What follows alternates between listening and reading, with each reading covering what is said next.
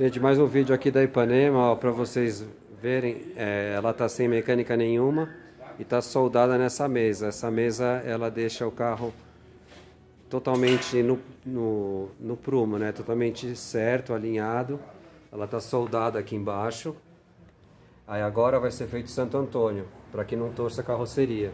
Já não tem mais nada dentro. Ela tá totalmente pelada, entre aspas, não tem suspensão. Tá vendo? E ela tá soldada nessa mesa. Que essa mesa é o chão zero. Tá vendo aqui, ó? Então ela fica soldada aqui e é feito Santo Antônio. Depois disso vai para pintura e o carro fica pronto. Então aqui é a construção do Santo Antônio, só para vocês terem uma ideia de como é feito. E aqui está nosso Ipanema. Aí vamos depois fazendo mais vídeos e mostrando mais. Vai ser a primeira Primeira Ipanema de corrida do mundo. Se alguém souber de outra e puder colocar aí nos comentários, eu agradeço muito, porque eu não consegui achar nenhuma na internet ainda.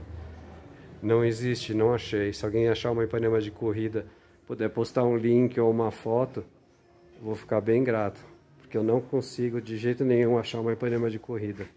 Nenhum lugar na Europa, na Austrália, onde esses carros foram vendidos, não tem. Tá bom?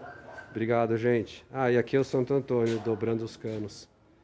Aqui que está sendo feito. Tá bom? Um abraço a todos. Tchau, tchau.